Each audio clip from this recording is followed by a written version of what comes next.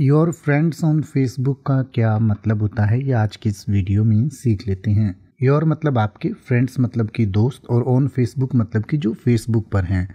तो आपके जो भी फेसबुक पर दोस्त हैं, उनको your friends on Facebook tab के अंतर्गत दिखाया जा सकता है। यानी कि फेसबुक पर आपके जो दोस्त हैं या आपके जो हो सकता है या फेसबुक को ऐसा लगता है कि आपको जानते हैं, आपके दोस्त हैं, वो लोग जो है इस टैब के अंतर्गत आपको दिखाए जा सकते हैं।